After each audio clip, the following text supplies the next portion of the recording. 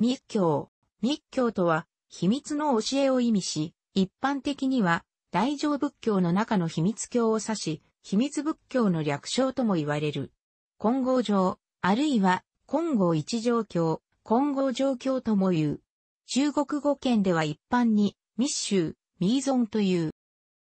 かつての日本では、密教といえば、空海を開祖とする真言宗の、いわゆる統密や、密教を導入した天台宗での大密かを指したが、インドやチベットにおける同種の仏教思想の存在が認知、紹介されるに、現代ではそれらも合わせて密教と相乗するようになっている。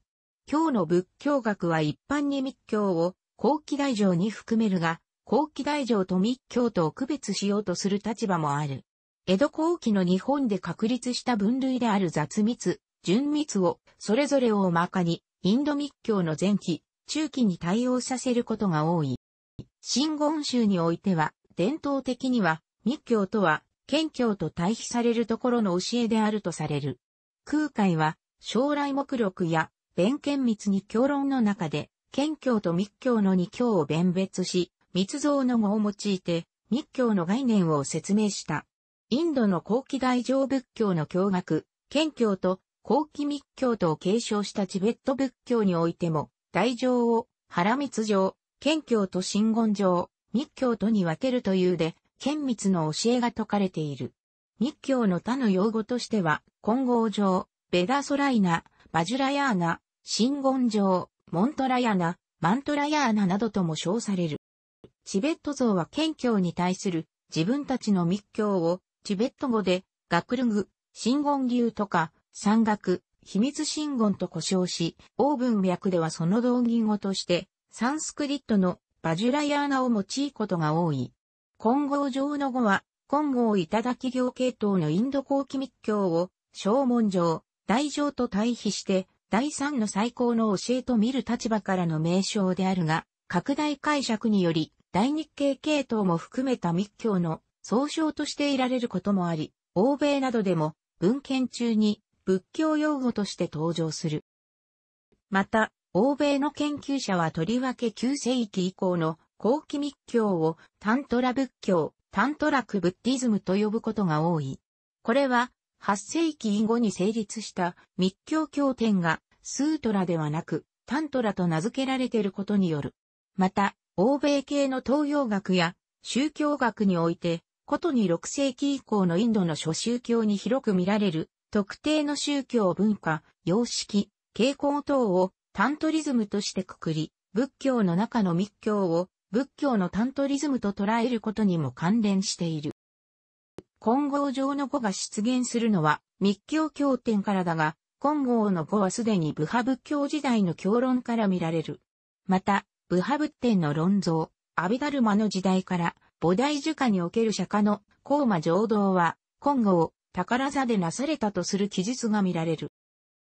本来、密教は、文字によらない教えを指し、先に述べたように謙教では、経典類の文字によって、すべての信者に教えが開かれているのに対し密教は、空海の詩文集、少量集で、それ曼荼羅の新法、諸仏の秘因は、断説に時あり、流伝脇にとどまる。経過大師が、伝授の方法を解きたまえり、末場に、伝うる者あえて三魔夜会に違反してはならないと。余脱は我、空海が意志にひず、密教の教えを得るか否かは、君の情、心に書かれり。ただ、手を握りて印を結んで、誓いを立てて契約し、口に伝えて、心に授けるのみ。と述べているように、アジカン等に代表される、不正の三枚、瞑想を重んじ、曼荼羅や、法具類、感情の儀式を伴う、陰神や、三枚夜系等の象徴的な教えを胸とし、それを授かった者以外には示してはならないとされた。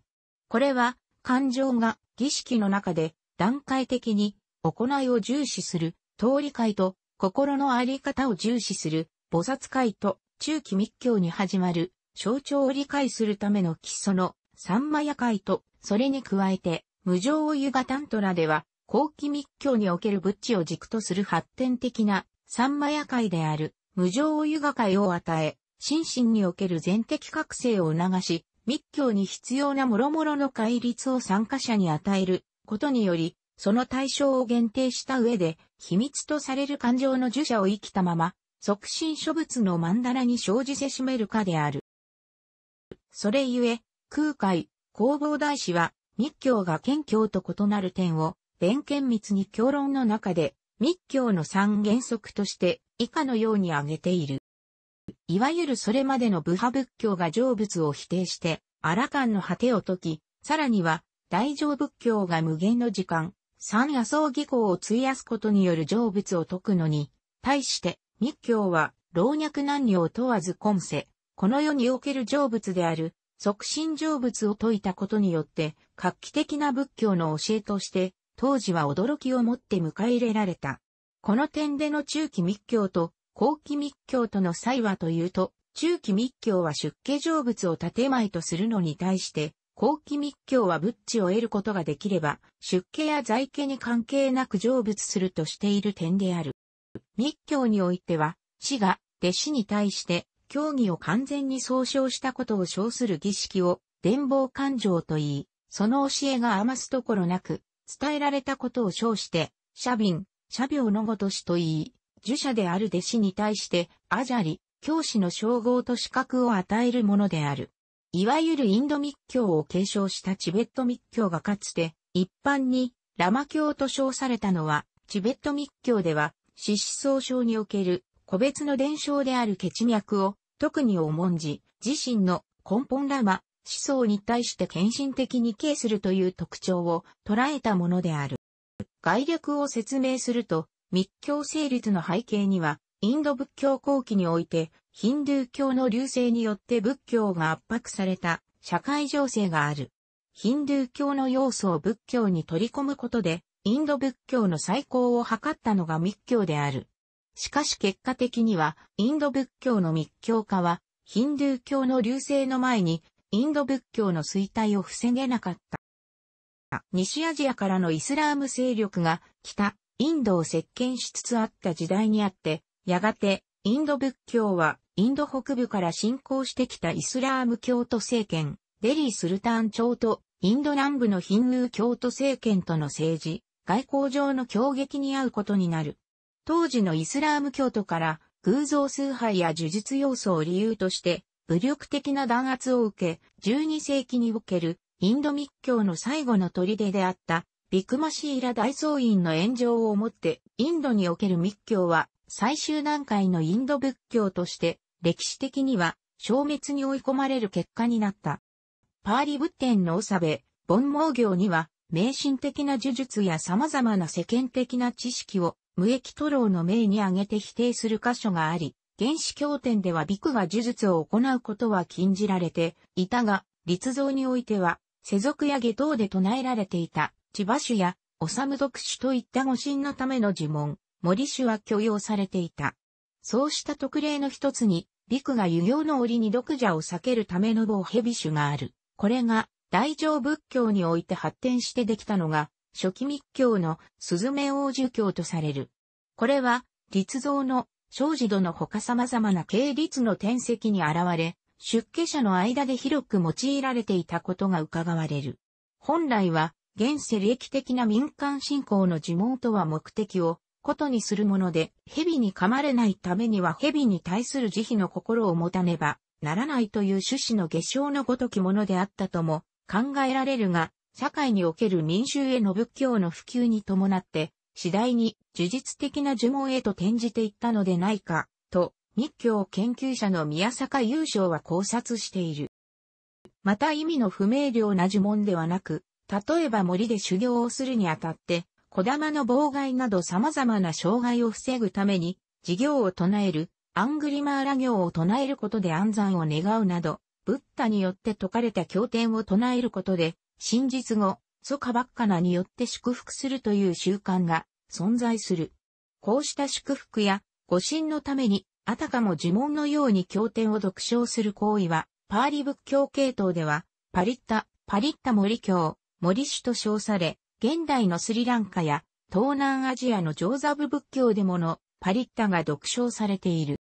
呪術的な要素が仏教に取り入れられた段階で形成されていった初期密教、雑密は特に体系化されたものではなく、最宗教であるバラモン教のマントラに影響を受けて、各フッツソンの神言、ダラに唱えることで、現世利益を心願成就するものであった。当初は密教経典なるものがあったわけではなく、大乗経典に、まじないやダラニが説かれていたのに始まる。大乗仏教の代表的な宗派である禅宗では、大飛神ダラニ、詳細妙吉祥ダラニ等々、日本でも数多くのダラニを唱えることで知られているが、中でも最も長いダラニとして有名な両言種両言種は大乗仏典の大仏教種両言行に説かれるダラニであり、これが密教に伝わり、ダラニ、ダーラニーが女性名詞であるところから仏母となって大蔵海曼荼羅にも描かれ、日本密教では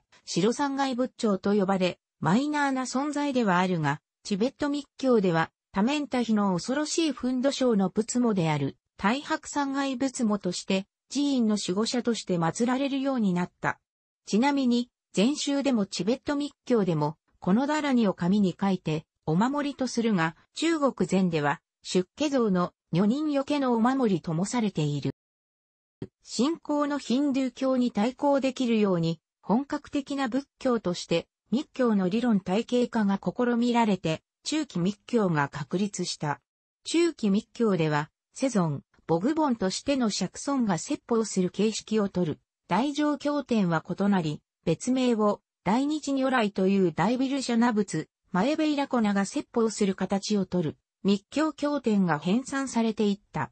大日経、初回混合、いただ企業、サーバタサガタタットバサングレアや、その注釈書が成立すると、多様な仏尊を要する密教の世界観を示す、マンダラが誕生し、一切如来から、あらゆる諸尊が生み出されるという形で、密教における仏尊の階層化、体系化が進んでいった。中期密教は僧侶向けに複雑化した仏教体系となった一方で、かえってインドの大衆層への普及、浸透ができず、日常祭祀や民間信仰に重点を置いた大衆重視のヒンドゥー教の流星、拡大という潮流を過的には変えられなかった。そのため、インドでのヒンドゥー教の流星に対抗するため、芝を倒す、高三世明王やガネーシャを踏むマハーカーラ、大黒天をはじめとして、仏道修行の保護と音的幸福を祈願する、フンドソンや五法尊が登場した。中期密教では、ヒンドゥー教の流星に対抗できなくなると、理論より実践を重視した無常ユガタントラの経典類を中心とする後期密教が登場した。後期密教では仏性の原理の追求が図られ、また、それに伴って発心不芸や根号を去った持ち根号仏が最小本所仏として最も尊崇されることになった。また、インドにおいて、ヒンドゥー教シャークタ派のタントラやシャクティ、勢力信仰から影響を受けたとされる男性原理、精神、理性、方便と女性原理、肉体、感情、般若との合一を目す無常ユガの行も、無常ユガタントラと呼ばれる後期密教の特徴である。男性名詞であるため男尊として表される方便と、女性名詞であるため女尊として表される知恵が交わることによって生じる密教における不自治を象徴的に表す換気物も多数登場した。無常をユガタントラの理解が分かれていた初期の段階では、修行者であるユガ行者がしばしばタントラに書かれていることを文字通に解釈し、あるいは象徴的な意味を持つ諸村の皇后の姿から発想して、女村との性的ユガを実際の性行為として実行することがあったとされる。そうした性的実践が後期密教にどの時期にいかなる経緯で導入されていったかについてはいくつかの説があるが、仏教学者の津田真一は後期密教の性的要素の延源として性的儀礼を伴う屍林の宗教という中世インドの土着宗教の存在を仮定した。後に、チベットでジョルと呼ばれて非難されることになる、性的実践は主に在家の密教行者によって行われていたと燃えられているが、出家教団においては、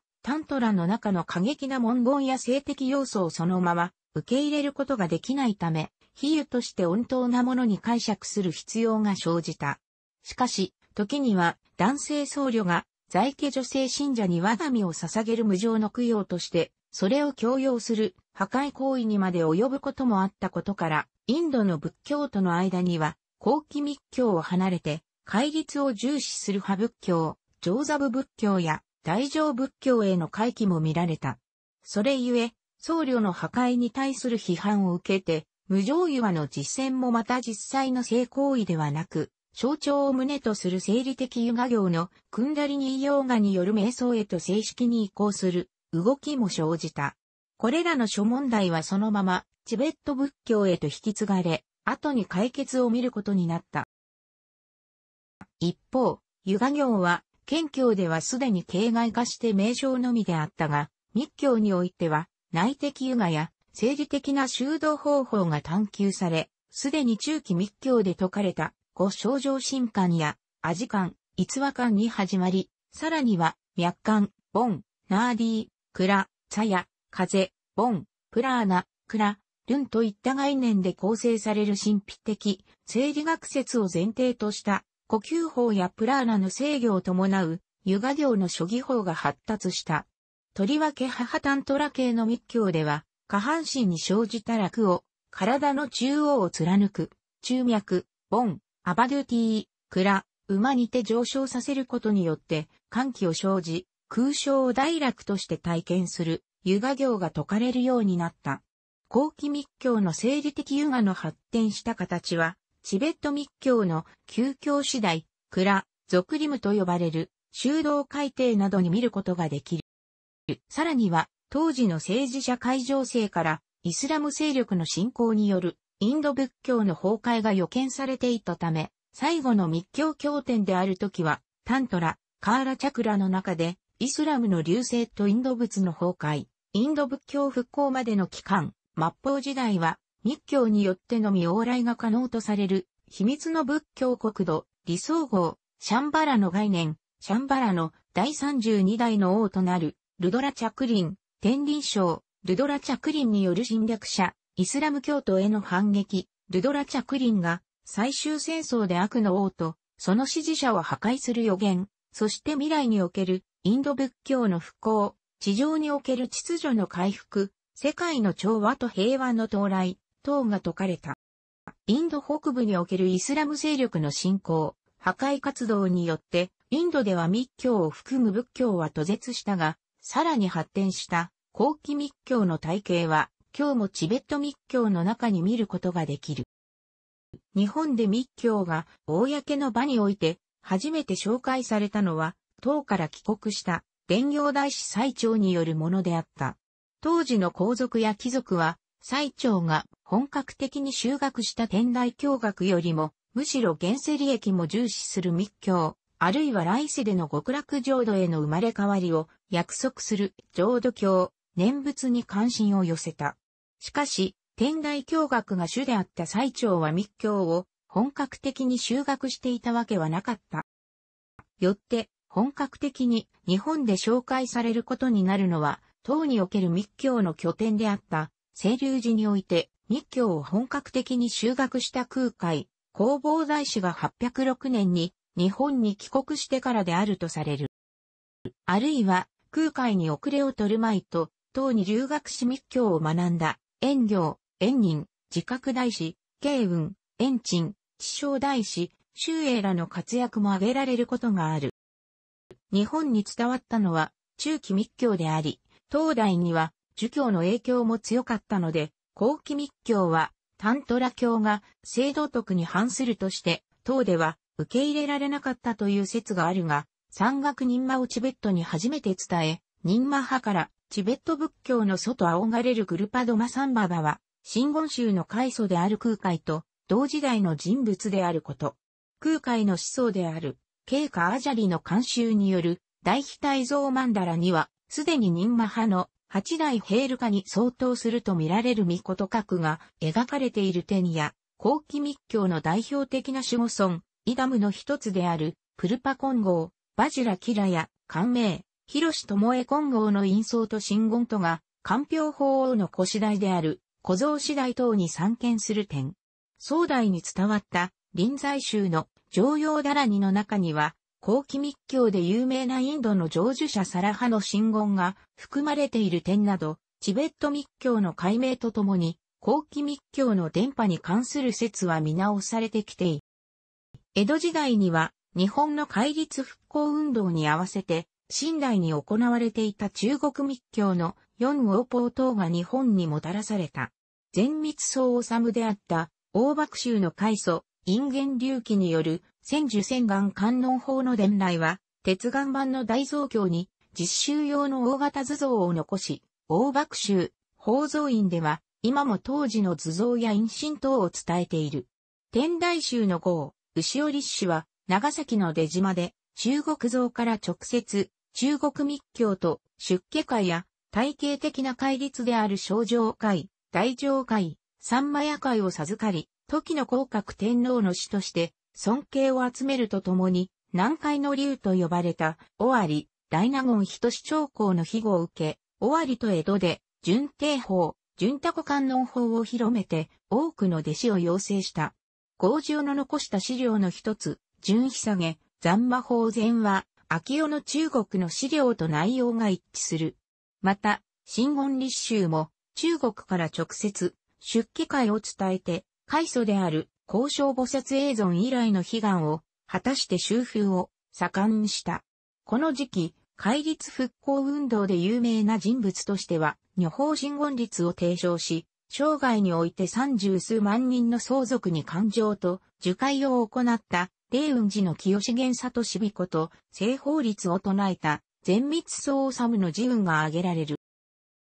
日本の伝統的な宗派としては、空海が唐の清流寺経過に受法して将来し、真言密教として体系づけた真言宗、即身成仏と鎮護国家を二大帝税としていると、最長によって創始され、円人、円鎮、安年らによって完成された日本天台宗の継承する密教が日本密教に分類される。真言宗が密教専宗であるのに対し、天台宗は天台、密教、戒律、全の四宗総称である点が異なっている。真言宗の密教は、東密と呼ばれ、日本天台宗の密教は、大密とも呼ばれる。東密とは、当時、京王五国寺の密教、大筆祖家は、天台宗の密教の意味である。この体系的に将来されて完成された、東密、大筆祖家を純密というのに対し、純密以前に断片的に将来され信仰された奈良時代に見る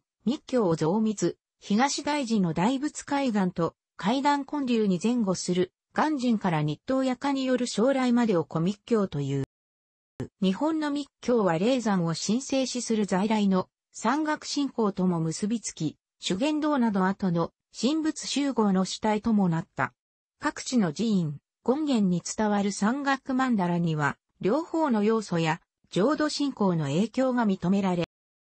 チベット仏教は無常ユガタントラと呼ばれるインドの後期密教経典とそれに基づく行法を継承している。中国においては南北朝時代から数は限られているものの初期の密教経典が翻訳され紹介されていた。3世紀には勝モルダラに新授業が翻訳されるなど、西域方面から伝来した仏典の中に、初期の密使経典が含まれていた。東晋の時代には、格義仏教が盛んであったが、同時にこうめう経典などの呪術的な密典も伝訳された。これらは、除災や治療といった現世利益を仏教に対し求める民衆の期待と、こうしていたとも考えられる。その後、東大に入り、インドから来庁した前昔子や中国人の弟子の一行が大日系の翻訳をい、さらにインド像の金剛聡と弟子の福、諸説あるが西域出身のインド系機関人であったと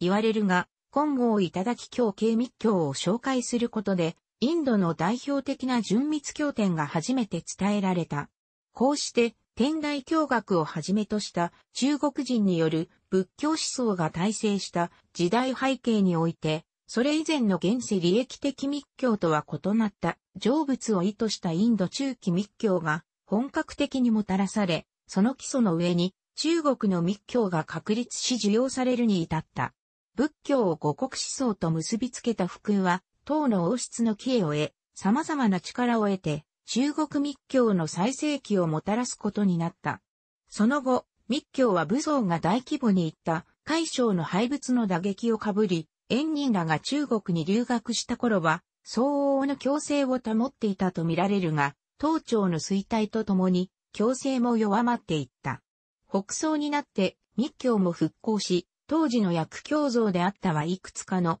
後期密教経典も翻訳したが、見るべき発展はなかった。以後、東密教の伝統は歴史の表舞台からほぼ消失し、中国密教は次第に道教等と混交しながら民間信仰化していったとも見られる。その一方で、領や聖火でも密教が行われた。ことに、聖火では、関伝の密教とチベット仏教が混ざり合っていたことが残され、資料から伺われる。その後、モンゴル系の元の朝廷内では、チベット系の密教が採用され、支配者階級の間でチベット密教が流行した。漢民族王朝の命においてもラマ像を厚遇する傾向があったが、満州民族王朝の清に至って王室の帰依と保護によってチベット仏教は栄え、北京の洋和宮など多くのチベット仏教寺院が建立され、ただし、漢地におけるチベット仏教の存在が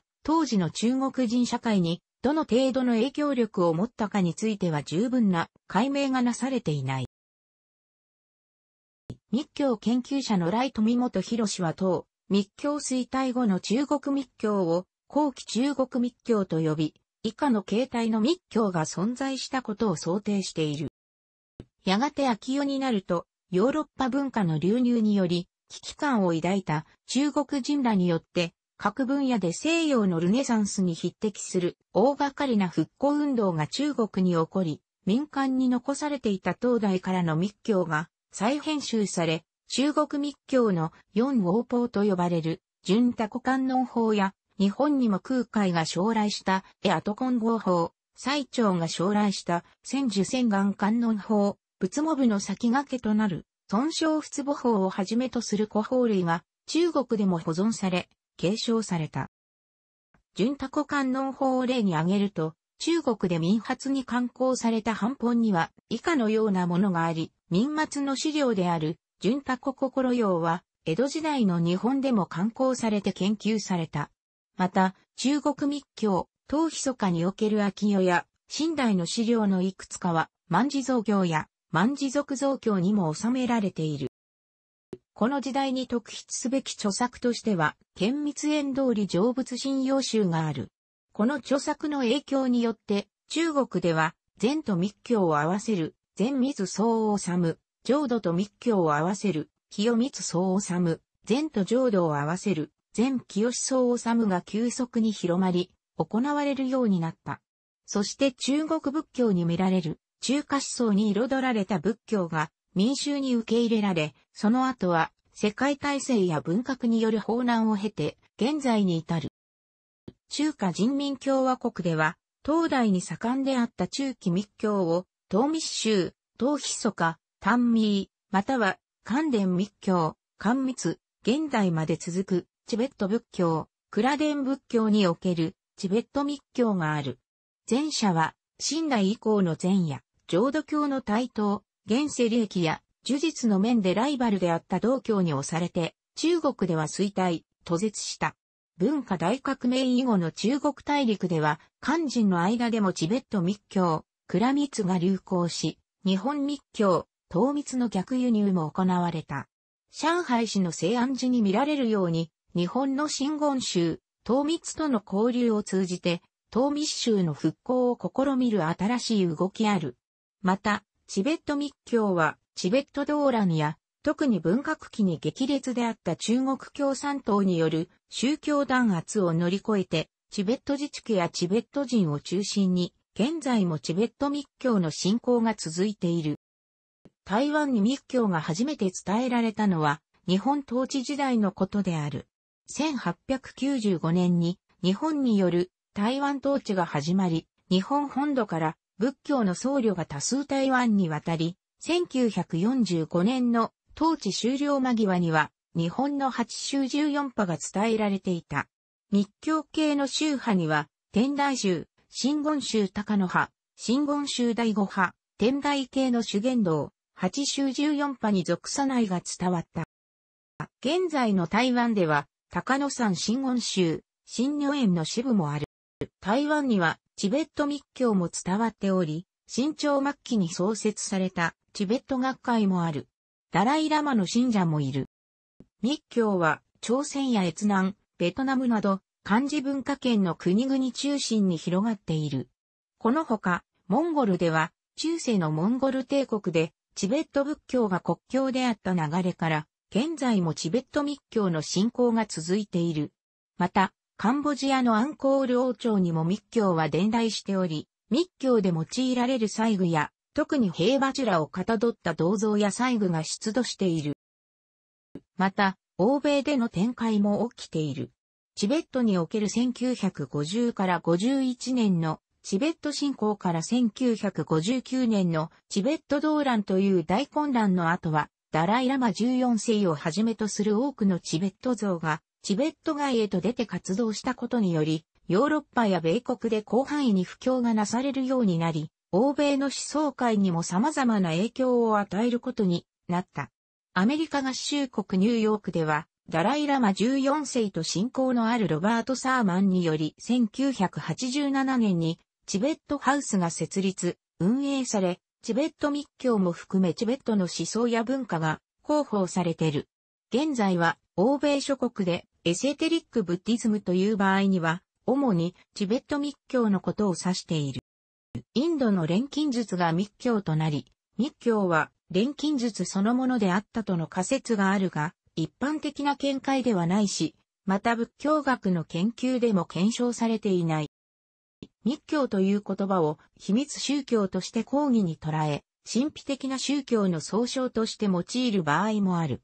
例えば、ユダヤ人の神知学的伝統であるカバラをユダヤの密教と表現する場合がある。秘教も3のこと。秘密の儀礼、密儀を旨とする古代地中海地域の諸宗教、オルフェウス教、ミトラス教などの総称としては、一般に密儀宗教が用いられる。楽しくご覧になりましたら、購読と良いです。クリックしてください。